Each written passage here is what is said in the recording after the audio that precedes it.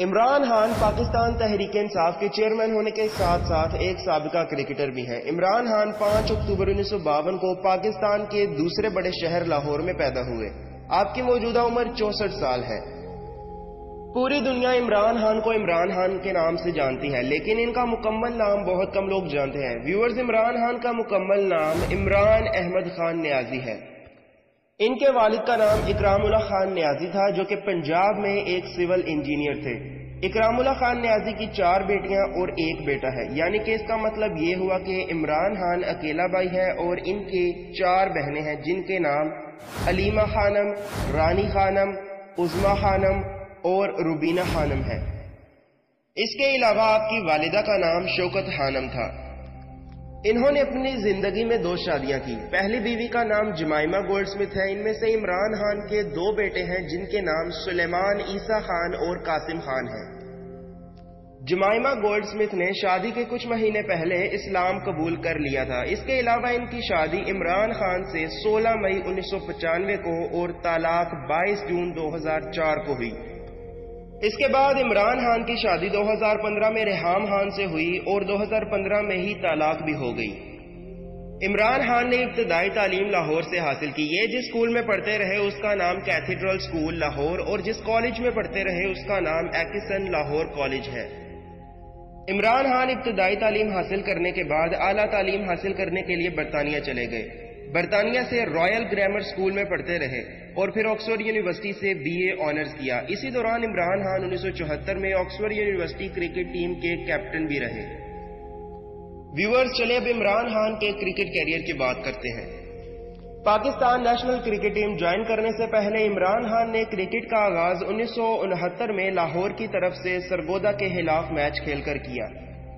اس کے بعد تین جون انیس سو اکہتر کو Pakistan national cricket team join کی۔ عمران خان نے انٹرنیشنل لیول پر انیس سو اکہتر میں انگلینڈ کے خلاف پہلا ٹیسٹ میچ کھیلا۔ اس وقت عمران خان کی عمر تقریباً اکیس سال تھی۔ اس کے بعد عمران خان انیس سو تہتر سے انیس سو پچہتر تک university of Oxford blue cricket team کے لیے کھیلتے رہے۔ عمران خان انیس سو چھہتر میں مستقل طور پر پاکستان واپس آ گئے اور انیس سو چھہتر اور ستتر کرکٹ سیزن اپنے ملک کی طرف سے کھیلتے رہے، جس میں انہوں نے نیوزی لینڈ اور آسٹریلیا کی ٹیم کا سامنا کیا۔ اس کے بعد عمران خان ویسٹ انڈیز میں آسٹریلین سیریز کھیلنے کے لیے چلے گئے، جہاں پر ان کی ملاقات ٹونی گریج سے ہوئی۔ اس کے بعد عمران خان نے ورلڈ سیریز کرکٹ کھیلنا شروع کر دی۔ انیس سو اکیاسی سے انیس سو بیاسی تک لاہور میں سری لنکا کے آٹھ کھلاڑی صرف اٹھاون سکور دے کر آؤٹ کر دیے اور تیئیس مرتبہ ایک اننگ میں پانچ وکٹس حاصل کی۔ اس کے علاوہ عمران خان دنیا کے تیز ترین بالرز کی لسٹ میں شامل ہے آپ کی فاسٹ بال کی سپیڈ ایک سو انتالیس اشاریہ سات کلو میٹر پر اور تھی۔ عمران خان نے انیس سو بیاسی میں نو ٹیسٹ میچز کھیلے اور اپنی تیز گیندوں کی وجہ سے باسٹھ وکٹس حاصل کی۔ عمران خان کی تیز ترین بالنگ کا اندازہ اس بات سے لگایا جا سکتا ہے کہ جنوری انیس سو تراسی کو انڈیا کے خلاف میچ کھیلتے وقت ان کے ٹیسٹ بالنگ ریٹنگ کے پوائنٹس نو سو بائیس سے زیادہ تھے۔ عمران خان ٹیسٹ میچز میں ایز اے بیٹس مین چھٹے نمبر پر کھیلتے تھے۔ اس کے علاوہ عمران خان نے اپنی زندگی کا ہائیسٹ ایک سو بتیس اسکور انیس سو اکانوے میں آسٹریلیا کے خلاف میچ کھیل کر کیا۔ یعنی کہ اس کا مطلب یہ ہوا کہ عمران خان نے ایک میچ کھیل کر ایک سو بتیس اسکور کا ٹارگٹ دیا۔ عمران خان پاکستان کرکٹ ٹیم کے پہلے کیپٹن تھے جن کی قیادت میں پاکستانی کرکٹ ٹیم نے بھارت کو بھارت اور انگلینڈ کو انگلینڈ میں ہرایا۔ پاکستان کرکٹ ٹیم نے انیس سو بانوے کو عمران خان کی قیادت میں کھیلتے ہوئے پانچواں کرکٹ ورلڈ کپ جیتا۔ یہ اعزاز ابھی تک پاکستان صرف ایک بار حاصل کر چکا ہے۔ عمران خان نے اپنی پوری زندگی کے کرکٹ کیریئر میں اٹھاسی ٹیسٹ میچز، ایک سو چھبیس اننگز، تین ہزار آٹھ سو سات سکور کیا، جس میں چھ سینچریز اور اٹھارہ ففٹیز بھی شامل ہیں۔ اس کے علاوہ عمران خان کی قیادت میں ایک سو انتالیس ون ڈے میچز کھیلے گئے، جن میں سے ستتر جیتے گئے اور ستاون ہارے گئے۔ اسی طرح عمران خان کا کرکٹ کیریئر تین جون انیس سو اکہتر کو شروع ہوا اور انیس سو بانوے کو ختم ہوا۔ انیس سو بانوے کے ورلڈ کپ کو جیتنے کے بعد انہوں نے کرکٹ سے ریٹائرمنٹ لے لی اور سماجی کاموں میں حصہ لینا شروع کر دیا۔ آپ نے اپنی والدہ کے نام سے کینسر کے مریضوں کے لیے ایشیا کا سب سے بڑا ہاسپٹل شوکت خانم میموریل ہاسپٹل لاہور میں ایک ٹرسٹ کے ذریعے قائم کیا۔ عمران خان پاکستانی قوم کو شوکت خانم میموریل ہاسپٹل کا بانی قرار دیتے ہیں۔ اس کے علاوہ عمران خان کو آسٹریلین نیوز پیپر اوز نے سال کے سب سے پرکشش مرد کا خطاب بھی دیا۔ ویورز اب عمران خان کی سیاسی زندگی کے بارے میں کچھ بات کرتے ہیں۔ عمران خان نے پچیس اپریل انیس سو چھیانوے کو پاکستان تحریک انصاف کے نام سے ایک سیاسی جماعت قائم کر کے سیاست کے میدان میں پہلا قدم رکھا۔ ابتدائی دور میں انہیں کامیابیاں نہ مل سکی لیکن موجودہ دور میں عمران خان پاکستانی عوام میں خاص طور پر نوجوانوں میں تیزی سے مقبولیت حاصل کر رہے ہیں۔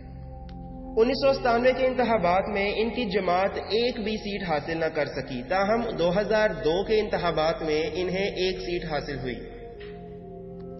اس کے بعد دو ہزار آٹھ کے انتخابات میں ان کی جماعت نے پرویز مشرف کے زیر نگرانی منعقد ہونے والے انتخابات میں حصہ لینے سے انکار کر دیا۔ تین نومبر دو ہزار سات کو پرویز مشرف کی ایمرجنسی نافذ کرنے کے بعد آپ کو نظر بند کرنے کی کوشش کی گئی، تاہم آپ پولیس کو دھوکہ دے کر فرار ہو گئے۔ اس کے بعد چودہ نومبر دو ہزار سات کو پولیس نے عمران خان کو گرفتار کر لیا۔ جیل میں چار دن رہنے کے بعد اٹھارہ نومبر دو ہزار سات کو عمران خان نے ڈیرا غازی خان جیل میں بھوک ہڑتال شروع کر دی اور بائیس نومبر دو ہزار سات کو انہیں اچانک رہا کر دیا گیا۔ اسی طرح عمران خان نے تقریباً آٹھ دن جیل میں گزارے۔ تیس اکتوبر دو ہزار گیارہ کو عمران خان نے لاہور میں ایک جلسے سے خطاب کیا، جس میں ایک لاکھ سے زیادہ لوگوں نے شرکت کی۔ یہ جلسہ حکومت کی پالیسیز کے خلاف تھا۔ پھر بائیس دسمبر دو ہزار گیارہ کو کراچی میں جلسہ کیا، جس میں ہزاروں لوگوں نے شرکت کی۔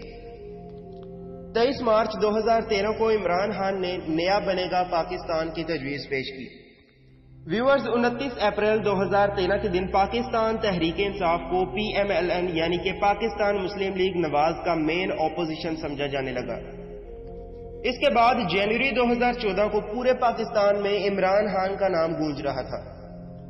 اس کے بعد چودہ اگست دو ہزار چودہ کو عمران خان اور ان کے سپورٹرز نے ایک ریلی کے طور پر لاہور سے اسلام آباد تک مارچ کیا۔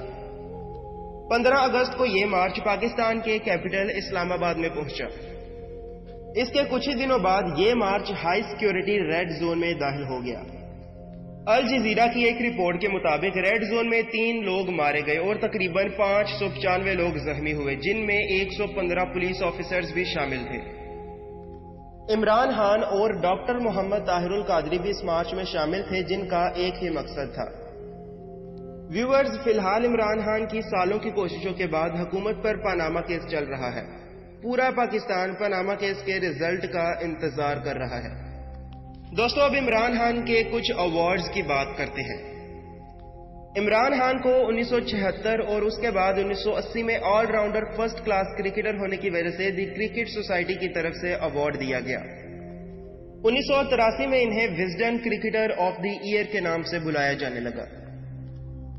انیس سو تراسی میں پھر انہیں پرائڈ آف پرفارمنس ایوارڈ دیا گیا۔ انیس سو پچاسی میں Sussex cricket society player of the year. اور اسی طرح انیس سو بانوے میں پاکستان گورنمنٹ کی طرف سے ہلال امتیاز کا ایوارڈ دیا گیا۔ آٹھ جولائی دو ہزار چار کو عمران خان کو لنڈن میں لائف ٹائم اچیومنٹ ایوارڈ سے نوازا گیا۔ سات دسمبر دو ہزار پانچ کو عمران خان کو یونیورسٹی آف بریڈ فورڈ کا پانچواں چانسلر بنایا گیا۔ تیرہ دسمبر دو ہزار سات کو انہیں پاکستان میں سب سے پہلا کینسر ہاسپٹل بنانے پر ایشین سپورٹس ایوارڈز کی طرف سے ایوارڈ سے نوازا گیا۔ اس کے بعد دو ہزار گیارہ میں انہیں جنا ایوارڈ سے نوازا گیا۔ اٹھائیس جولائی دو ہزار بارہ کو انہیں پاکستان میں کینسر کے مریضوں کا علاج کرنے کے لیے Royal College of Physicians of Edinburgh کی طرف سے ایوارڈ دیا گیا۔